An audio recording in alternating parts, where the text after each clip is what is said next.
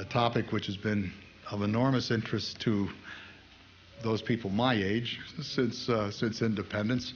The first speech that I remember being given at the college I went to, although I went to an institution you don't call a college, but that's another matter, the, uh, was by uh, Chester Bowles, who was then our ambassador to India. And uh, the, the, year after that, we had as the guest, uh, one of our guests uh, the Indian ambassador to the United States, and that was 1955, I think, and that would have been uh, Mehta, I believe. Was it? Was yes. Okay. And we, we met him at the Waldorf Astoria Hotel, then had a nice ride up to, to school with him. So I remember that vividly. So in any case, and of course the major theme then was democracy and, and, uh, and India.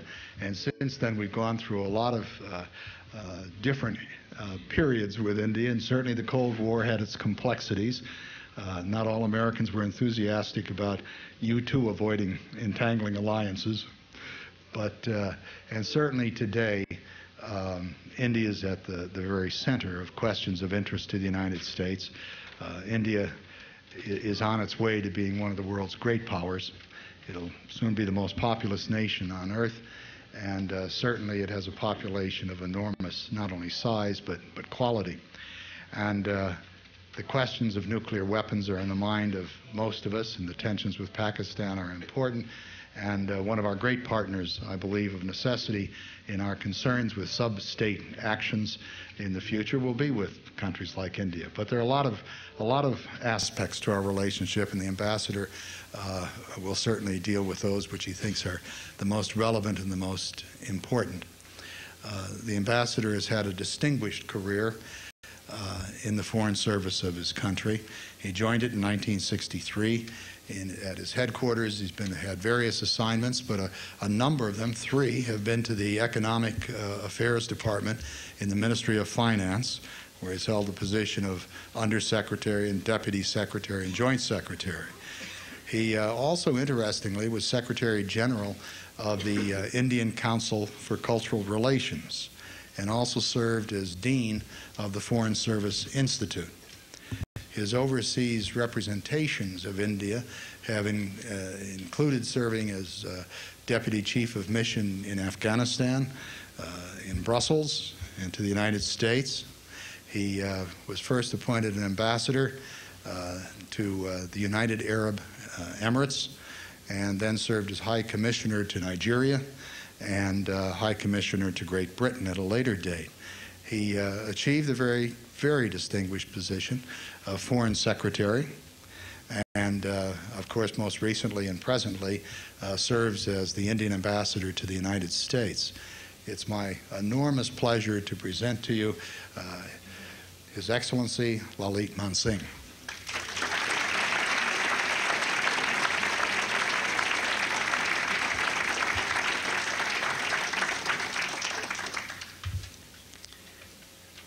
Dr. Frank Bird, President of the Baltimore Council for Foreign Affairs, thank you very much for those very kind remarks. Mr. Carpenter, Chairman of the Board of Trustees, ladies and gentlemen. Uh, Dr. Bird, thank you for your gracious words of welcome and for your kind remarks about me and my career. This is my first visit to Baltimore since I arrived in Washington almost a year ago. I assure you it's a relief to get away from the Beltway. that escape is made even more delightful by the opportunity to interact with this very distinguished audience.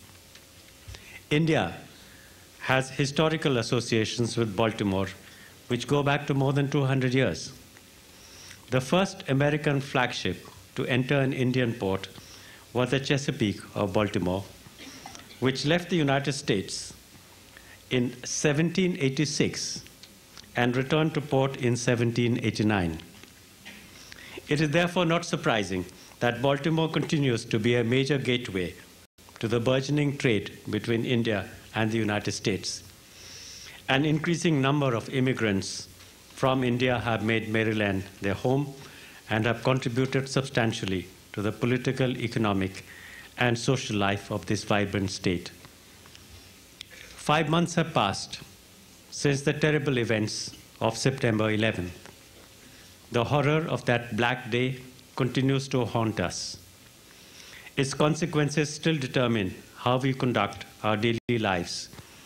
The terrorist attacks against the World Trade Center and the Pentagon were not simply an attack on the United States, they were an assault on the world's civilized people. Democratic and multicultural societies, such as those of India and the United States, are particularly vulnerable to the threat of organized terrorism. The values that we cherish democracy, tolerance, and the rule of law are precisely those which the terrorists seek to destroy and replace with their own medieval and perverse ideology. The support the terrorists receive from states who harbor them makes our task of confronting and defeating terrorism even more challenging. They should not, however, be allowed to succeed. The challenge is to defeat them, even while preserving our values and defending our principles. The fact that the barbaric attack of September 11th were conceived and planned in India's neighborhood is no surprise to us. India has been a victim of terrorism for more than two decades. More than 60,000 innocent lives have been lost. It took the events of September 11th to dramatically bring to the world's attention the global reach of terrorism. A devastated Afghanistan is on the slow and painful road to recovery. The terrorists have re- retreated, at least for the time being. For us in India, however, there has been no respite. The attacks against the Legislative Assembly of Jammu and Kashmir on October 1st and against India's parliament, the very soul of our democracy, on December 13th, brought home to us the stark reality that we could not let our guard down. Even today, terrorists, trained, equipped, and financed from across our borders, continue to take a daily toll of innocent lives. It is clear to us that the deadly swamp of terrorism is far from being drained. On January 22nd, the American Cultural Center in India's eastern city of Kolkata or as it was known earlier as Calcutta, was attacked by terrorists. They killed five policemen who were protecting the center.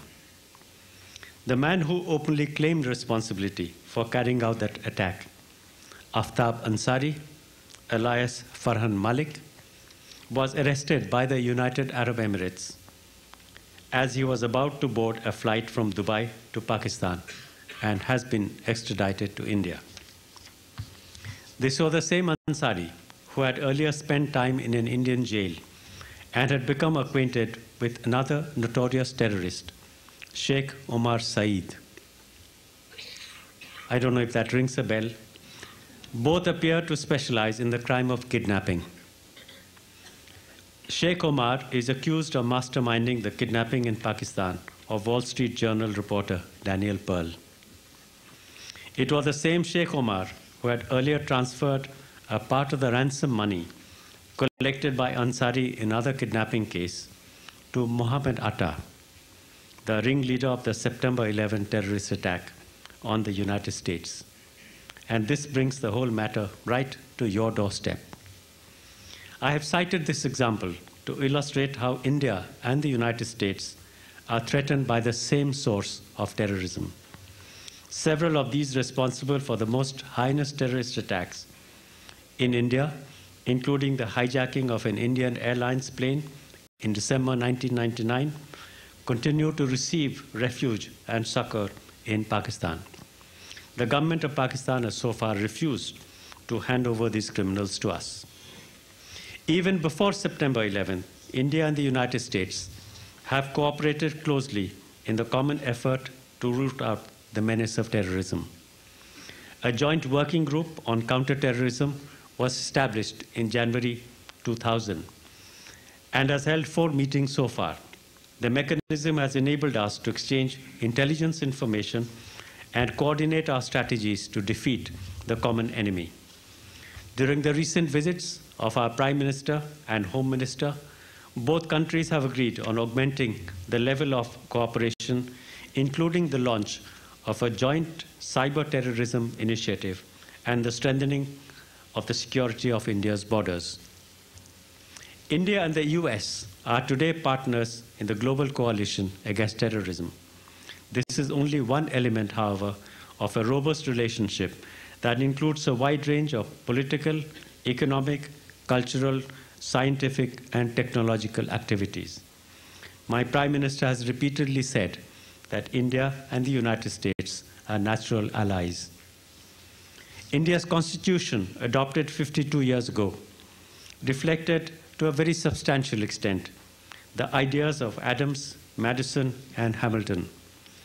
Although greatly separated in time and distance, our founding fathers shared a common vision. We both have diverse societies with a deeply entrenched commitment to pluralism, individual rights, and open debate. It is on this sturdy pillar of these common values that the edifice of our natural alliance has been built.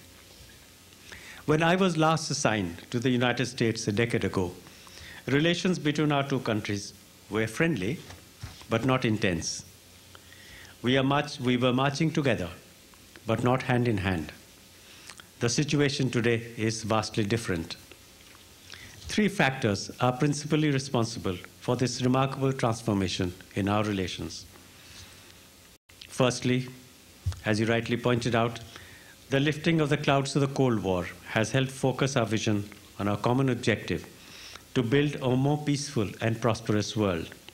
Second, India's economic reform program has greatly expanded opportunities for trade and investment between our countries.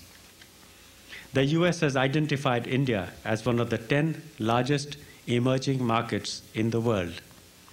Perhaps most important is the community of Indian origin in the United States. This community has emerged as a valuable asset, investing the bilateral relationship substantial political, economic, and technological value. In 1993, the Caucus on India and Indian Americans in the House of Representatives had a membership of only eight. The caucus today boasts of a strength of more than 130 members. It is the largest single country caucus in the House of Representatives. During the 106th Congress, Prime Minister Vajpayee was the only foreign leader to be accorded the honor of an address to the joint session of the Congress. Even as we pursue the campaign against terrorism, India and the United States continue to build on the progress we have made in other areas. President Bush has said that his administration is committed to developing a fundamentally different relationship with India, one based on trust and mutual values. A wide ranging institutional dialogue structure now provides the vehicle for a broadening and deepening of our bilateral relationship.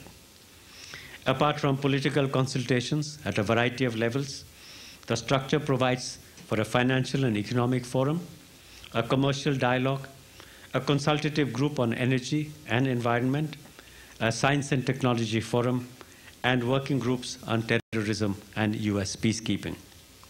We have engaged in a very productive dialogue over the last few months. Our External Affairs Minister was here in October, our Prime Minister in November, and Ministers for Home, Defense, and Finance in January. From the United States, the USTR Ambassador Robert Zoellick visited India in August, Secretary of State Powell in October and again in January, Defense Secretary Rumsfeld in November, and Deputy Treasury Secretary Kenneth Dam earlier this month. Prime Minister Vajpayee and President Bush agreed in November to intensify a bilateral interaction in several areas. We are both consulting on Afghanistan. Cooperation in the field of defense and counterterrorism has been expanded. The new strategic framework dialogue is to be established. The economic dialogue is being broadened and strengthened. There'll be new stimulus to high technology commerce, civilian space cooperation, and civilian nuclear cooperation. The lifting of economic, military, and technology restrictions imposed in the wake of our nuclear tests four years ago, have laid the groundwork for substantive progress in defense cooperation between the two countries. The Defense Policy Group has been revived, and over the last three months, there have been intensive interactions both between civilian officials and the armed forces. The chairman of the Joint Chiefs of Staff, General Myers, is currently visiting India. Joint exercises are to be revived soon. We also have agreed to commence a dialogue towards evaluating the processes by which dual use and military items can be transferred to reflect the present realities of the relationship. There is today greater understanding of the security concerns which prompted India to conduct its nuclear tests in 1998. India has always believed that nuclear weapons are a threat to global security. They are not and must never become instruments of war. Their relevance lies in their capacity to deter. As before, India remains committed to the elimination of all weapons of mass destruction globally. We would continue to strive for a world free of nuclear weapons and to press for universal, verifiable nuclear disarmament. At the same time, even, even as we maintain a minimum credible nuclear deterrent, we have proclaimed a policy of voluntary moratorium on all further explosive nuclear underground testing. We have declared a policy of no first use against nuclear weapon states and non use against non nuclear weapon states. Our policies are and shall continue to be marked by considerations of restraint and responsibility. Over the last decade, India's GDP has grown at an average annual rate of 6.5%. The Indian economy is reckoned today amongst the five fastest growing economies of the world. Despite a global economic slowdown, India's growth prospects are brighter than elsewhere. There is political stability and a firm commitment to carrying forward the process of economic reforms.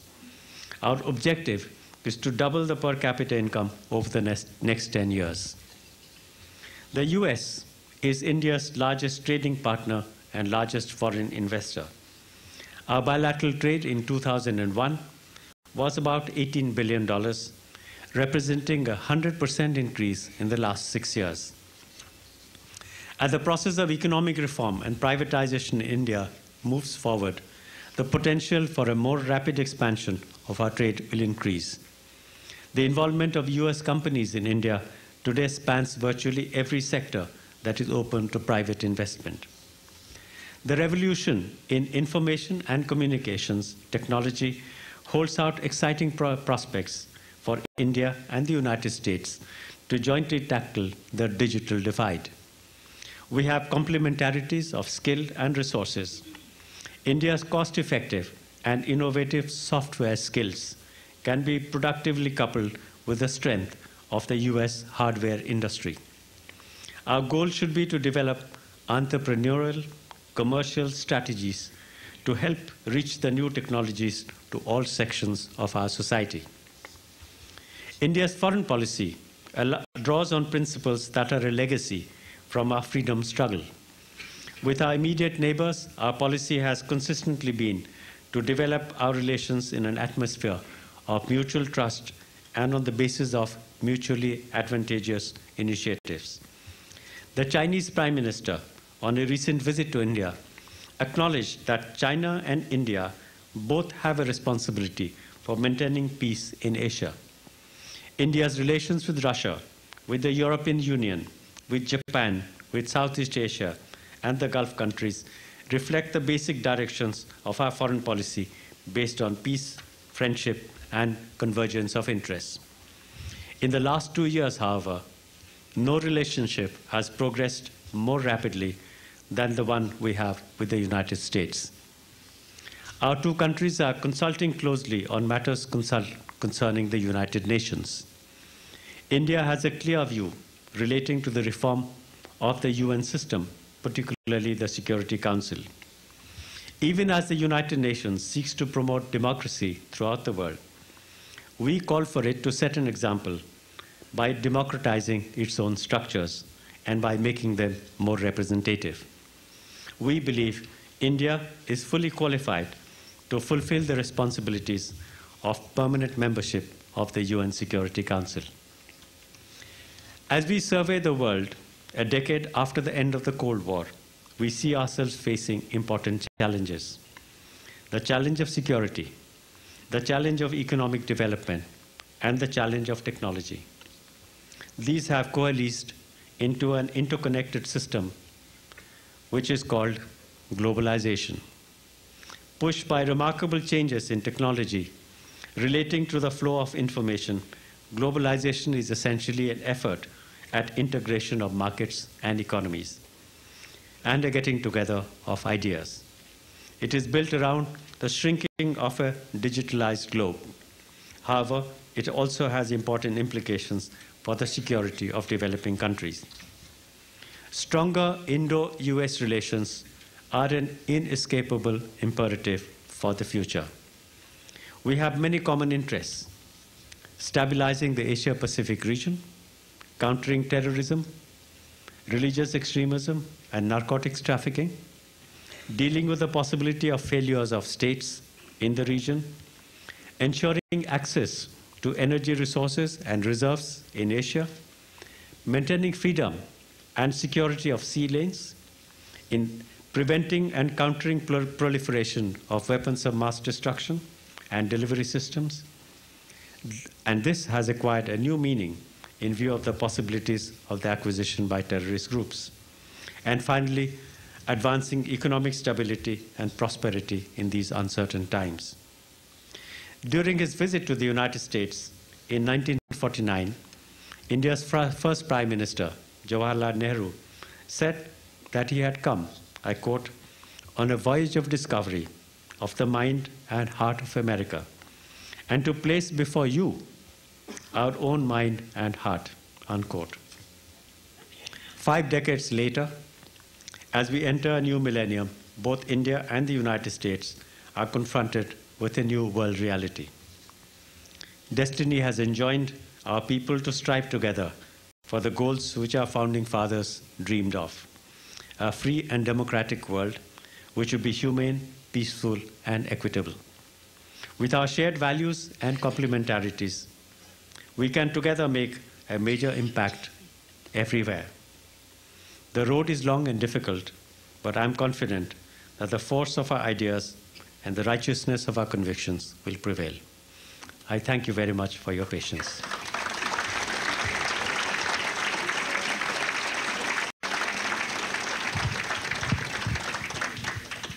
Well, we, we thank you for a marvelously clear and comprehensive presentation of the topic, U.S. Indian relations. Yes, sir. The uh, question is, what is your position on transforming truce lines in Kashmir into permanent national boundaries? Let me explain the official position that we have.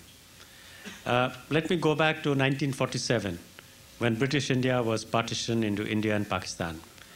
Uh, it was in accordance with the Independence of India Act, which was passed by the British Parliament. And one of the provisions there was that the future of the princely states with which the British had treaty relationship would be decided through an instrument of accession. Namely, it would be open to the prince or the ruler to sign an instrument of accession either in favor of India or in favor of Pakistan. Right. In the case of Jammu and Kashmir, the Maharaja, the prince, signed the instrument of accession in favor of India. So legally and constitutionally, the entire province of Jammu and Kashmir is an integral part of India. Now, the reality is that Pakistan is in illegal occupation of one third of that province. Now, this is an idea which has cropped up saying, well, this is a possible solution, maintain the status quo, and uh, let Pakistan have what it has, let India have what it has. Now, our government is not in favor of that because why should we give up what is ours? But um, who knows? If, if uh, the two countries uh, negotiate with each other, who knows what the outcome and what kind of solution will take place? There are two questions. One is, uh, would you comment on India's position with respect to a, a referendum uh, on Kashmir? And the second question is better if you repeat it, actually. It's about Doha, about the Doha conference on the WTO. I take that. All right, okay. Um, on, on the issue of referendum, um, let me take you back to what happened in 1947 and 48. Uh, there was an invasion of tribesmen from Pakistan. Actually, there were tribesmen and there were Pakistani regulars who came dressed in civilian clothes. But it was an actual invasion, and they were coming towards Srinagar. To, and it was India which approached the United Nations to say that aggression had been committed.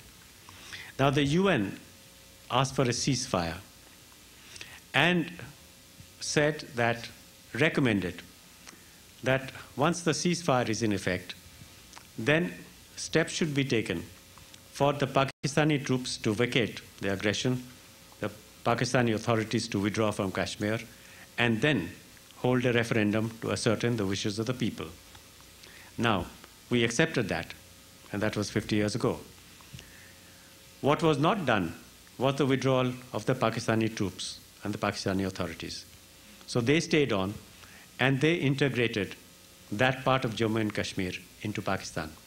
Nominally, it's called Azad Kashmir, but actually, it is a piece of territory administered from Islamabad. Our position has been that since the conditions for a plebiscite have not been met, it has not been possible to conduct a plebiscite in accordance with the UN resolution. However, let me point out that whereas the area under Pakistani control has never enjoyed democracy in the sense that we know it, because as you know, for most of its history, Pakistan has been under military rule. On our side of Kashmir, we've had elections. There has been a constituent assembly, and there is a Jammu and Kashmir assembly, and they enjoy democracy like the rest of India. And if you say that the wishes of the people has to be ascertained, we have a unanimous resolution of the Constituent Assembly and of the Jammu and Kashmir Assembly, which supported the integration of the state in India. So on plebiscite, our position remains that it has not been possible to carry it out because Pakistan didn't vacate that territory and didn't comply with the requirements of plebiscite. But so far as the wishes of the people are concerned, democracy has provided the answer. All right. Now, regarding the second question, the um, ministerial conference which took place in Doha, and this was really concerning a new round of trade negotiations. On that, we found that we had fundamental differences with the Western countries. And India represented the viewpoint of the developing countries. And we took the view that it is not right to start a new round of negotiations because we are still facing problems in the earlier round of negotiations. The goal of the earlier round was to free international trade and to enable all countries of the world to trade freely. Now, in the meantime, we found that certain barriers had been created to free trade, particularly in the industrial countries, by uh, restricting the access of a lot of products among the developing countries. Let me make special mention of textiles. Trade is supposed to be free, but we can't export textiles to either Europe or the United States because we are restricted by quotas. Same thing about uh, steel and a whole range of products where our cost of production is lower, but in order to protect domestic industry, the industrial countries are saying we will have punitive uh, uh, anti-dumping duties or countervailing duties to stop these products from coming in. So we are saying resolve these issues first before you embark on a new round. Secondly, we are disturbed by a growing demand in the Western countries for non-trade issues to come up, like labor standards, environment issues. We are maintaining that the WTO is a forum for discussing trade issues. If you want to discuss labor issues, you go to an organization like the International Labor Organization, which is meant for discussing labor issues or you want to discuss environment issues, there's a separate structure, there's been the Kyoto Protocol and discussions going on. So uh, I think we, are, um, we were justified in saying that let us first resolve the issues which are, uh, which, which are a hangover of the previous round of negotiations before we embark on a new one. Now, what actually happened in Doha was that we reached a compromise. And it was agreed that the developing countries have a valid position, and many of these issues will have to be discussed and resolved before the next round of negotiation starts. I, I think we are on the right track. After all, you have to reconcile the interests of the industrial countries and the developing countries. Otherwise, you can't have a new agreement. Your views on population control. Well, the, this, this is a very relevant question. Yes, you're right. Um, we are on our, on our way to become the most populous, populous nation in the world. And unfortunately, I say this, um, we don't like the distinction of being the most populous nation in the world. We would rather give it to the Chinese. But, but as, as far as our policy goes, we have been in favor of family planning. Now, a lot of people say, well, it's effective in China. Why, aren't, why isn't it effective in India? Uh, you have to understand there's a difference between the social and political structure in China and in India. We are a democracy, and we certainly can't use coercive methods to enforce family planning. But we've had a program of education and uh, promoting the cause of family planning, and you'll be happy to know for the first time, the population growth has been reduced to 1.8%. And if, it is, if this continues, we will reach a plateau, and then it'll be possible to have the population control. It's been a process of uh, trial and error. Uh, we have made slow progress, but we are there. One of the key that we have discovered is education. And we have seen that there is a ratio between population growth and education. We've seen in the Southeast Asian countries that population comes down as the rate of education goes up. We have achieved that. Today, we have achieved uh, 65% literacy. We still have a long way to go. But there is a key within a key, and we've discovered that the secret lies with female education. And we are focusing on female education because if your women are 100% literate, I can guarantee the population problem will be a non problem.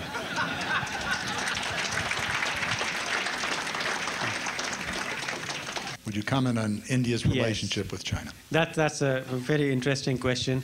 Uh, let me start by saying that when we became independent, uh, we, had we had a very sentimental relationship with China because China is a great civilization, a great country. We had historical contacts with China. And Pandit Nehru displayed a friendship towards China. We supported Chinese membership of the United Nations. We supported uh, the seat in the Security Council being restored to China. Unfortunately, I, this sometimes happens to nations. Um, you, you, are, you are sometimes um, rewarded in the wrong way. And uh, in 1962, the Chinese invaded our territory. And it's, it's left a traumatic uh, experience with our people. But uh, life must go on. And so, after a long period of frozen relationship, in 1988, when Rajiv Gandhi was the prime minister, he took a bold step. He said, Let us put our border dispute in a box, because that's a complicated one. That's the reason why we had a, an armed conflict. Put that aside, and let's discuss that for as long as it takes. But let's make, make progress in the other areas. So we started uh, improving our, our trade relations, exchange of people, cultural relations. So at the moment, uh, we have a, a, good relationship going with China. As I mentioned earlier, the Chinese Prime Minister has just been on a visit to India. Our president went there uh, earlier. And so we have a good relationship, but the border issue has not been resolved. And we have some anxieties about what China is doing in terms of arming a lot of countries, and this has an impact on our security. We are particularly concerned about Chinese nuclear and missile cooperation with Pakistan, and uh, this has a direct impact on our security. So we make no, no secret about our concerns. We um, do take it up with the Chinese. Hopefully, uh, we will have even better relations with China. But uh, that's, that's how it is at the moment. Has the Bush administration policy, uh, funding policies, had any impact upon your program on population control? Well, you'll understand, I don't want to comment on a domestic issue here. So far as our policies go, uh, we are using our own resources into family planning.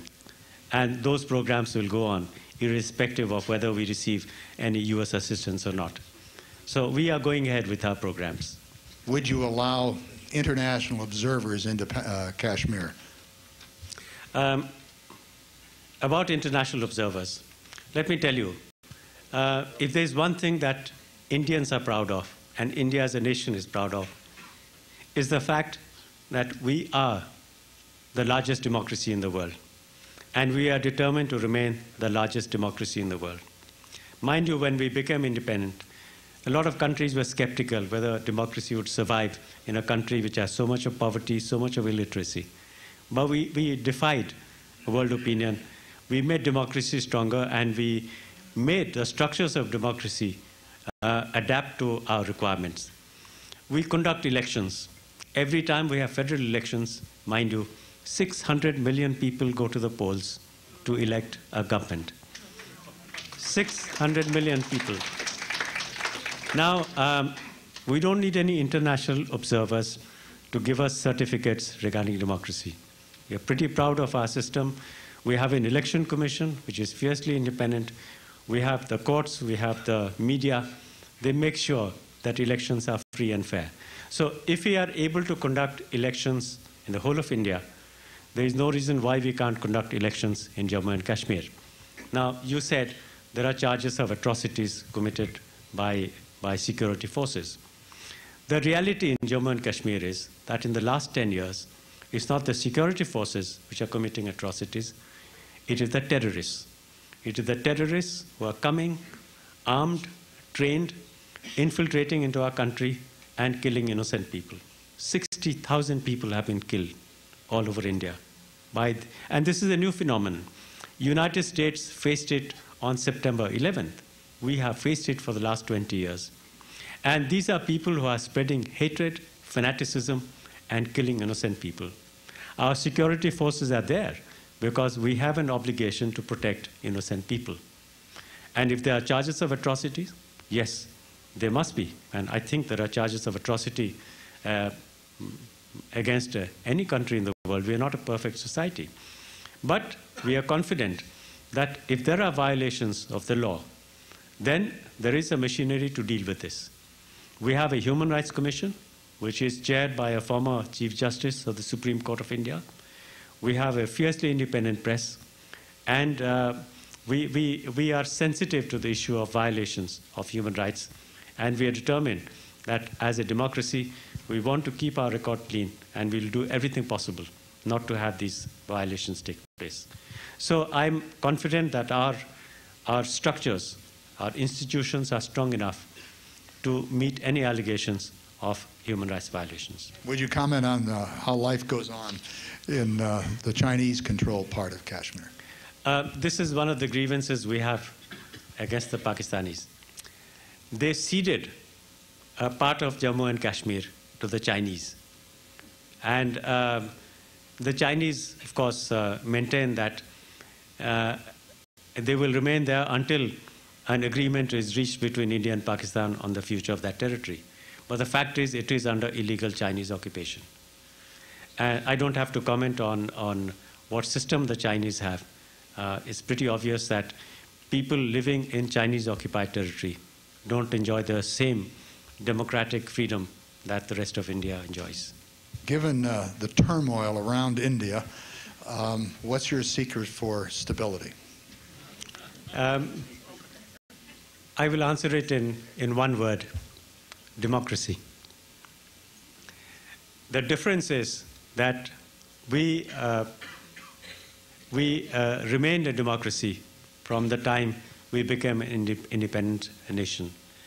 Unfortunately, in our neighborhood, the democratic exper- uh, experiment has not been very successful.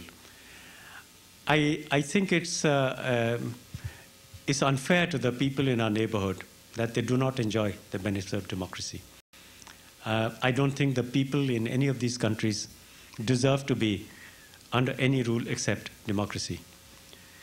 But um, what we are trying to do is to uh, spread um, our system by example. Uh, we are hoping that countries around us, and indeed all over the world, will look at the experiment in democracy in India and see how we have succeeded uh, against all odds to maintain our democracy. I can think of uh, that as the only reason why we have maintained it. Let me also mention uh, that we have uh, a very diverse society. Uh, we have eight major religions, and God knows how many countless cults and different religious groups. We speak 18 major languages and nearly 5,000 dialects. Uh, there is a diversity in India which is incredible. It's much more diverse than, than the whole of Europe, for instance. So, how do you maintain this unity, this strong sense of nationalism, and so on? It, it is through democracy that we have sustained this. Because we know that it is through freedom and uh, preserving our multicultural, multi ethnic heritage, uh, through a secular constitution, that we can sustain this remarkable experiment. So we are proud of our democracy, and that is the reason why how we have maintained ourselves. Um, let me also mention an interesting fact that um, one of the sources of international terrorism has been uh, the growth of extremism amongst uh, Muslims all over the world. And mind you, it is not, not, uh, not Islam that is responsible for this. It is a perverted interpretation of Islam by which a small minority claims to interpret the holy book and use terror as a method of uh, obtaining its objectives. Now, we have 150 million Muslims in India. We have more Muslims than Pakistan, than Bangladesh. Uh, we have more Muslims than the entire Middle East put together. Now, uh, Tom Friedman wrote a very interesting article in the New York Times more than a month ago. When he went to India, he, was, he wondered why our Muslims are different from the Muslims in the rest of the world. They were not holding demonstrations uh, in favor of Osama bin Laden. They were not burning effigies of President Bush. So his answer was, again, democracy. That this is the largest group of Muslims anywhere in the world who are enjoying the benefits of democracy, which is why they are, they are a part of our great national experiment in democracy. And maybe there's an answer to extremism and terrorism all over the world. Maybe there should be a greater effort to bring in democracy. Would you uh, give a short statement on relations with Russia over the last 20 years? Uh, here, let me take, by, take you back to the Cold War years. And this has been a genuine area of uh, some difference between the United States and India. Now, uh, as, as always, there are always different versions of what is the truth. It's the old story of the half empty glass. Okay. Now, the view from Washington has been that India has more or less, had more or less joined the Soviet camp. And uh, I mean, we were regarded as some kind of, of communists. Uh, if you go back to the statements of John Foster Dulles, for us, he represents the policy of the United States during the Cold War years. And he had made it very clear that his vision was black and white. And there is no, no possibility of any gray areas between black and white. So we were, we were forced into the Soviet camp, even though we maintained that we were non aligned, we didn't want to take part in big power politics, we didn't want to belong to either the Eastern camp or the Western camp. So, uh, our relations with Russia in the beginning were not particularly cordial because as the United States distrusted us, so did the Russians. Because uh, the Russians uh, weren't very comfortable with Jawaharlal Nehru, with his Western education, having been uh, to Cambridge, and with his Western liberal ideas, they didn't quite trust him. And I recall that one of the Russian papers had called him the running dog of capitalism. Now, uh, so for a few years, this was the position until the Soviets started looking at us differently and started befriending not only India, but the entire developing world. They started helping us with, with economic assistance, with military assistance. Now, remember that in those days, after independence, we didn't have any capital, but we, we wanted to set up heavy industries. We wanted huge amounts of capital to set up steel plants and set up industries. The Russians came forward with a scheme by which they gave us uh, a long-term credit, which was repayable in, in rupees, and it helped us to set up our basic industry, our heavy industry. So we are grateful that they helped us when we needed it. In contrast, when we came to the United States, um, the attitude here was that uh, US assistance can't be given to a country which has a large public sector within its economy. That was an ideological viewpoint. And I remember that uh, Professor Galbraith, when he was ambassador in, in New Delhi, was despairing because he wanted America to be involved in the economic uh, growth in India. He wanted the United States to help uh, India set up a steel plant. He didn't find any sympathizers, any supporters, either in Capitol Hill or within the administration here. Now, fortunately, the Cold War is over, and we are now able to look at each other in a more transparent way, not through the prism of the Cold War. And one example of this is something which happened last November. Our Prime Minister came here on a state visit directly from Moscow. And I remember making a comment in public saying, if this has happened during the Cold War years, the plane would have been sent back to Delhi. But it didn't happen because the Americans are comfortable without having good relations with Russia. The Russians are comfortable without having good relations with the United States. And this is the, the new global setup that we are entitled to have our relationship. And so long as it's not at the cost of the other, nobody should mind. So at present, uh, the relationship we had with the Soviet Union has now been transferred to Russia. Russia remains a country which has very close and uh, strong links with India. Uh, we are still receiving uh, not much of economic assistance. I think uh, they are themselves in great economic difficulties. But uh, in many areas, we have cooperation which is going on. But I'd like to say this is not at the cost of the United States because what we have seen is an, is, is an exponential growth in our bilateral relations in the last few years. Essentially, what is India doing to educate the youth, especially in the areas of uh, I think it was referenced back to the birth control question. Female education. Female education in general. Uh, well, Kerala, you, you mentioned Kerala. Yes, Kerala is, is, is the model uh, which we are trying to follow because Kerala has the highest literacy in India and Kerala has the lowest birth rate in India.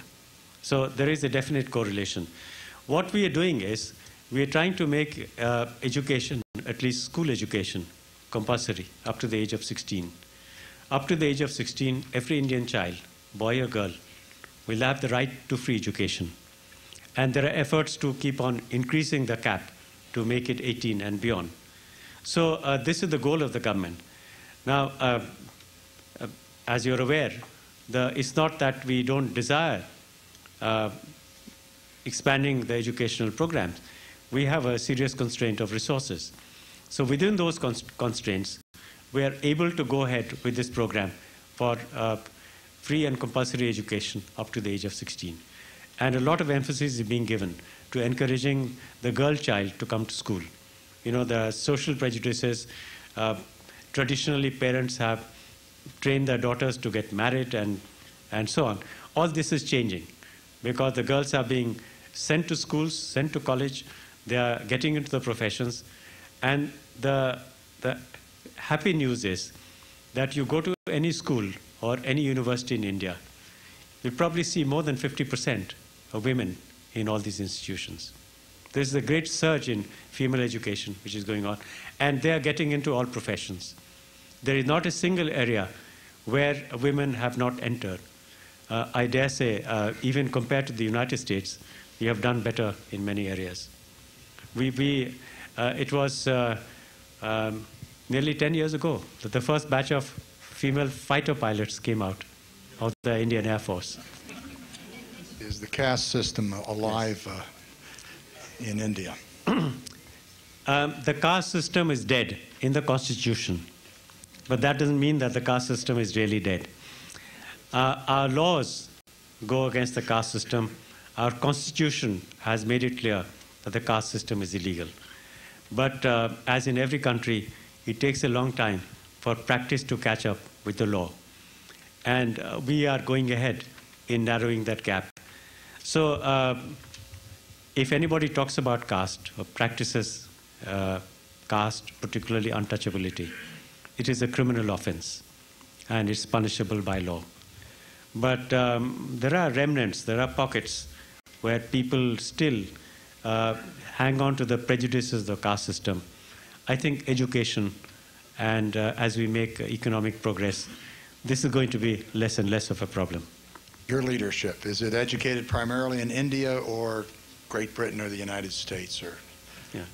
Uh, if you take the, the group of leaders who fought for independence, there was a large percentage of people who had gone abroad for studies, particularly to, to the United Kingdom. That's partly because uh, opportunities for education were limited in India.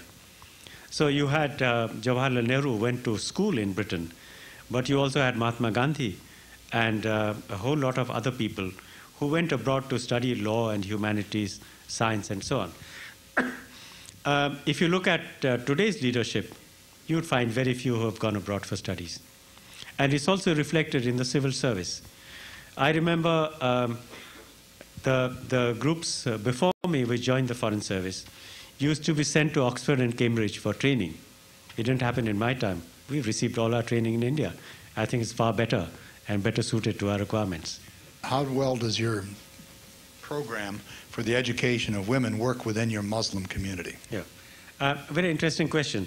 Now, uh, traditionally, we have this picture of uh, the Muslim community being backward and not wanting um, to send their children to, for education and so on. Now, again, I, I go back to the state of Kerala, which has disproved it. Because Kerala has one of the largest Muslim populations, has one of the largest Christian populations. Traditionally, religious groups which are, which are assumed to be against family planning. But Kerala has proved that uh, religion has not come in the way of either education or family planning. So far as our laws go, there is no discrimination between Muslims and anybody else. Everybody is, is, uh, has, has the same uh, freedom and the same opportunities. So uh, it is no different for the Muslims, no different for anybody else. The question is Is democracy in essence uh, uh, born within your culture as opposed to being a political creation of the recent past? I, I think Dr. Parekh is right. Um, notionally, our democracy is uh, 52 years old because uh, if you date it from the time we adopted a constitution, became independent, all right. But we had uh, democracy in practice in many parts of India from ancient times. But what he referred to was something else. It's, it's part of our culture, it's part of our spiritualism. And I'll illustrate by referring you to Hinduism, uh, which is the faith which, which is accepted by the majority of the people of India.